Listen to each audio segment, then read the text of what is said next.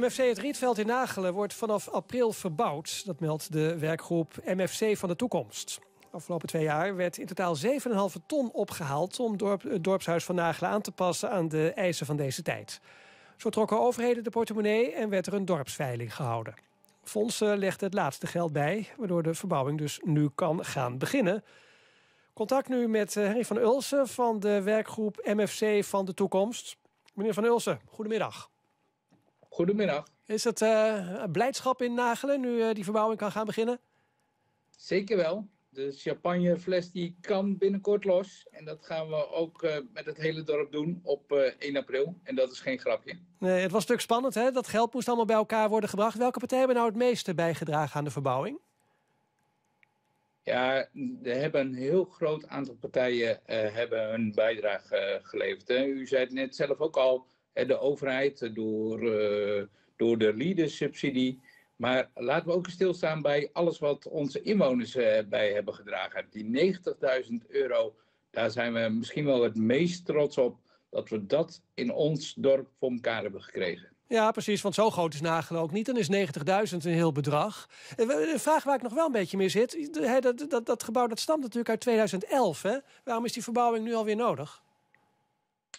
Ja, we hebben een, op zich een fantastisch gebouw. Dat is ook uh, aan de buitenkant mooi neergezet. Uh, in het midden, uh, in het hart zeg maar, van, van Nagelen. Maar de binnenkant ontbrak er toch nog wel het een en ander aan. Dat hebben onze inwoners ook uitgesproken.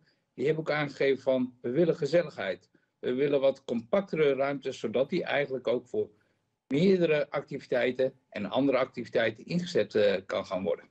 Ja, wat, wat gaat het nou straks in de praktijk betekenen? Wat kan er dan na die verbouwing wat nu nog een beetje moeilijk is?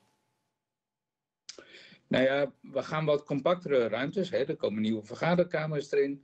De, uh, er komt toch ook weer een bar in terug. Hè. Uh, uh, Nagelen had geen bar meer. Na, na het afbreken en het vertrek van de hut ja, was dat toch een leegte. En uh, er komt weer een bar in. Er komt ook een zitje in waar inwoners gewoon eens even binnen kunnen lopen. Kunnen koffie drinken, een gesprekje met elkaar kunnen doen. En we gaan ook uh, meer en andere activiteiten organiseren. En ook als je nou toevallig eens langskomt in uh, Nagelen, want je wil het dorp bekijken. Hè? Die, mensen komen natuurlijk ook altijd nog langs. En je wil een kopje koffie drinken, kan je er dan ook terecht?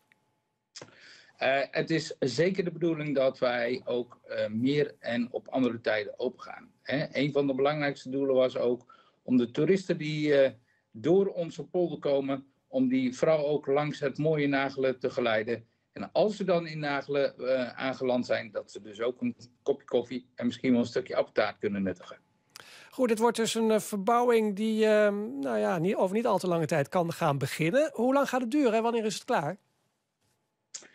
Nou, op, uh, op 1 april, uh, en dat zei ik u net al, gaat de champagne los. Want uh, dan gaan we het laatste rondje doen, zoals we dat hebben benoemd. Dat wordt een, een feestavond voor onze inwoners en ondernemers en iedereen die een bijdrage heeft geleverd.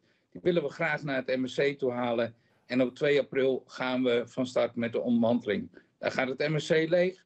Dan zullen er de, de, ook in die periode minder activiteiten gehouden kunnen worden. En uh, dan duurt het ongeveer zes maanden. Daar is onze hoop op gevestigd. En dat wij dan op 1, 1 oktober, ik moet goed zeggen, 1 oktober in het najaar de deuren weer openen. Ja, dan krijgen we weer champagne neem ik aan, hè? En dan krijgen we weer champagne. He helemaal gelijk. Harry van Ulsen van de werkgroep MFC van de Toekomst in Nagel. Heel erg bedankt. Dank u wel. Nou, we moesten um, My Favorite Waste of Time krijgen van Owen Paul. Nu krijgen we hem. Nee, Download is nu het de niet. app van Flevoland en je bent altijd... Wat gebeurt hier allemaal? Nou, het hoeft niet altijd Ja. op de stroomlijn te gaan, men, waar mensen, waar, waar, gewerkt wordt, eh, vallen Spaanders. Ja. Iets met hakken, ik weet het ook ja, niet. precies. Nou, hakken, hakken, hakken, dat doen we wel. En nu Owen Paul.